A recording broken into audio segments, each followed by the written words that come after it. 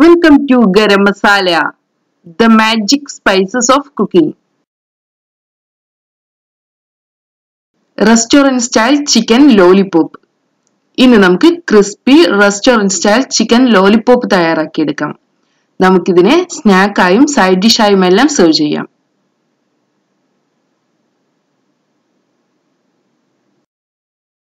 ഇതിനുവേണ്ടി ഞാൻ പത്ത് ചിക്കൻ ലോലിപോപ്പാണ് എടുത്തിട്ടുള്ളത്. നമുക്ക് ഈ ചിക്കൻ ലോലിപോപ്പിനെ മാരിനേറ്റ് ചെയ്യണം.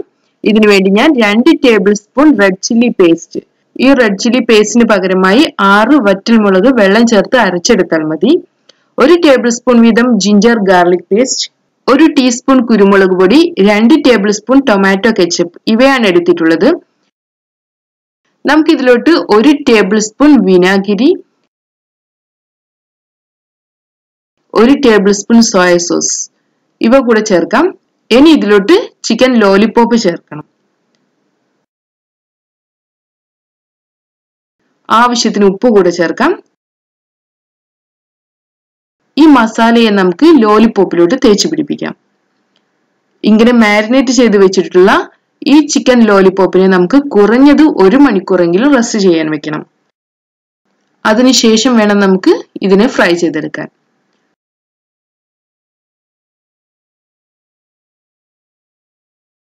ഒരു മണിക്കൂറിന് ശേഷം നമ്മുടെ ലോലിപോപ്പിലോട്ട് നമുക്ക് മൂന്ന് ടേബിൾ സ്പൂൺ കോൺഫ്ലോർ മൂന്ന് ടേബിൾ സ്പൂൺ മൈദ ഇവ ചേർക്കാം.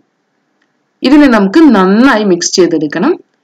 ഈ ലോലിപോപ്പിനെ ഈ പൗഡറുകൾ കൊണ്ട് നന്നായി കവർ ചെയ്യണം. ഇത് നമ്മുടെ ലോലിപോപ്പ് നല്ല ക്രിസ്പി ആകാൻ സഹായിക്കും അതുപോലെ തന്നെ നല്ല ടേസ്റ്റിയുമായിരിക്കും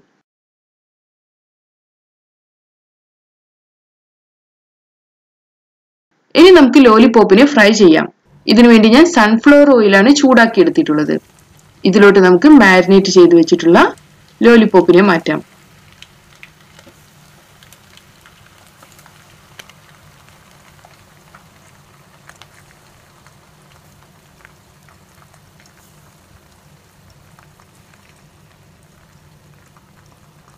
മീഡിയം ടു ലോ ഫ്ലെയിമിൽ നമുക്കിതിനെ പത്ത് മിനിറ്റ് വേവിച്ചെടുക്കണം. അതിനുശേഷം ഫ്ലെയിം കൂട്ടി വെക്കാം. അഞ്ച് മിനിറ്റോളം മതിയാകും. നമ്മുടെ ലോലിപോപ്പ് ഒന്ന് ക്രിസ്പി ആയി വരണം. ഇടയ്ക്കിടയ്ക്കൊന്ന് തിരിച്ചിട്ട് കൊടുക്കണം.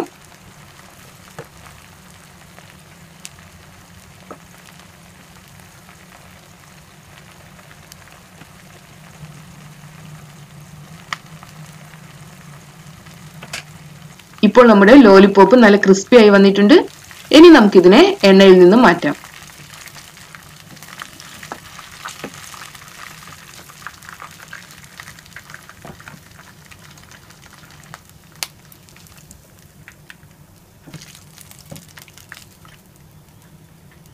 ഇതിനെ നമുക്കൊരു കിച്ചൺ ടിഷ്യൂയിലോട്ട് മാറ്റണം. അങ്ങനെ നമ്മുടെ ഈസിയും ടേസ്റ്റിയുമായ ക്രിസ്പി ചിക്കൻ ലോലിപോപ്പ് തയ്യാറായിട്ടുണ്ട്. നമുക്കിതിനെ ടൊമാറ്റോ കെച്ചപ്പിന്റെയോ ചില്ലി സോസിന്റെയോ കൂടെ ചൂടോടുകൂടെ തന്നെ സെർവ് ചെയ്യാം. താങ്ക്